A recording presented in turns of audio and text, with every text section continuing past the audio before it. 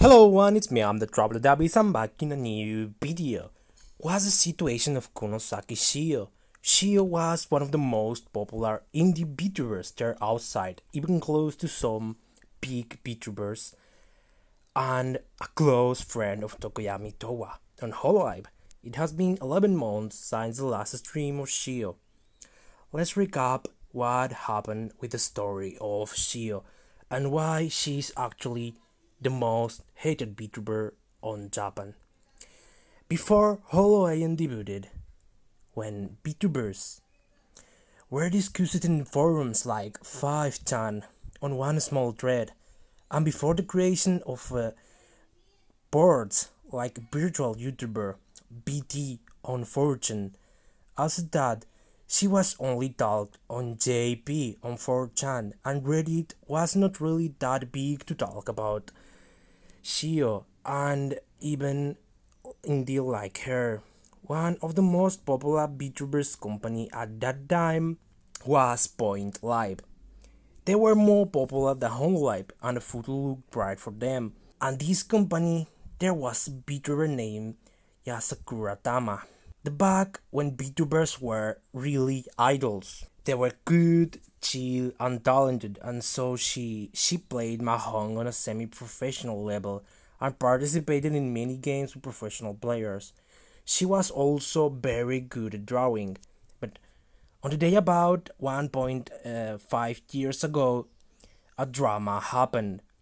Tama started tweeting that Point Live is a black company, and they treat their talents like shit the specifics are unknown, as neither her nor the company did not cast light on the situation, but everybody sided with her.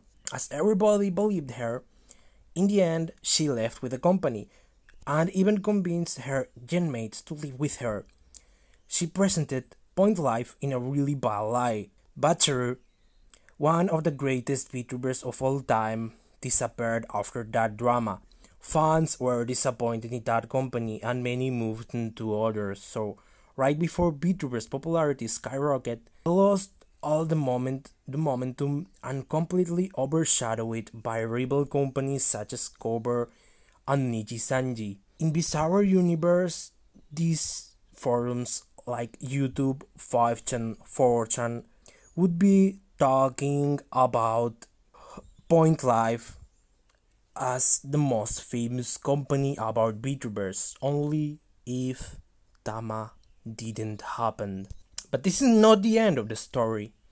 Few months later, Tama reincarnated as an indie named Kunosaki Shio. All her former fans continued to support her as she was a talented, instructed by black company trying hard to rise as an indie she was fairly popular. Her streams were comfy and chill. She was really good at playing mahjong. But then, at the same time, the alloy drama happened. Another, the another girl drama happened too. Due to security hole in a blog site, note.com, her static IP was revealed. And it turned out that she was a poster on 4chan with the same IP address. They said the poster is known as AC because of their ID.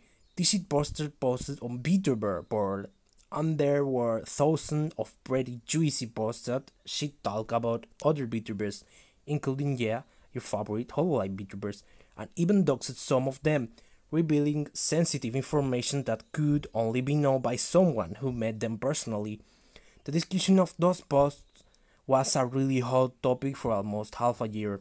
When it was revealed, the reaction of the community was predictable. Imagine a VTuber collabs with your favorite VTuber and then she post about her in a threads like uh, BT on 4chan or like in this situation on 4chan. She suddenly made many enemies. There are no notable VTubers she didn't she talk about except uh, Towa, who is her close friend. She was disliked bombed on the stream, live while streaming Fall Guys and trying to pretend nothing happened. It seemed like not admitting anything and wait for people to forget about it was her plan. But later she tweeted that she received threats in a physical mail to her mailbox to the place where she lives. And that is she's contacting louder and don't want to stream for a while. Point Life drama and the IP drama finished her career and gave her the title of Judas and the Backstabbing War. To this day, most of Point Life VTubers have virtually no growth in subscribers count in an entire year. Didn't then they didn't have any audition signs uh, when. All they had is five graduations. Naturally, literally cried a river her graduation while streaming with virtually no sleep for almost three days because it was her last chance to stream. She didn't stop talking with viewers, and when the stream was at the end of the screen, she valued every second she had to be with her fans. Futaba also cried a lot, but for less extent, Kongo Iroha was relatively lively, but still sad.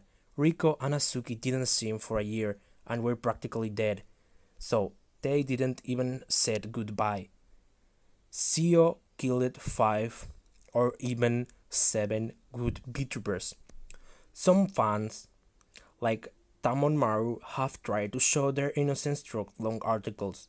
The one I show on the screen from Tamon Maru translated from Japanese to English and although the article stresses that IP address is not a good evidence and disapproves the comments issued by IP address one by one, this article has not served to put an end to the hate. Moreover, it has even had multiple replicas and accusation that this article is actually a white knighting.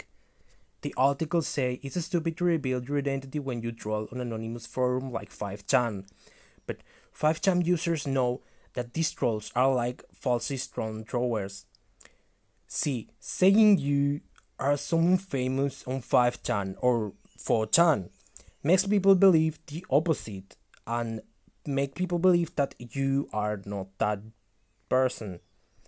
I mean, if you're going to troll on forums like 4chan it's really usual to say you are something famous or something only just to troll. People won't believe you at all. On the other hand, haters don't rule out that she was stupid doing the thinking she would never get caught.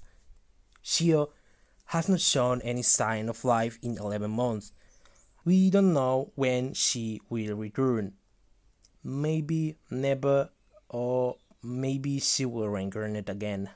Only the future will know what happened. From my part, that's all. Thank you for watching this video. If you like this video, share and subscribe. This has been the Traveler of the Abyss. See you in another video and bye bye.